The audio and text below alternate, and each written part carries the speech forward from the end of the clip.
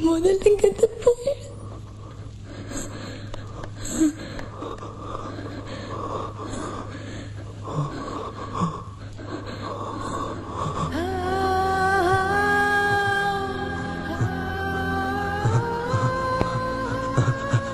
நீயும் கூட வா கூட வா. நிஜமாதான் சொல்றியா? நிஜமாதான் சொல்றியா? நிஜமாதான் சொல்றியா? நிஜமாதான் சொல்றியா? நிஜமாதான் சொல்றியா? நிஜமா தான் சொல்றியான்னு அவ கேட்டப்பவே எனக்குள்ள இருந்த அந்த பழைய குட்டி பிரபாகர் மரணமும் கொலையும் அறியாத அந்த குட்டி பிரபாகர் திரும்பவும் வந்துட்டான்னு எனக்கு புரிஞ்சுது.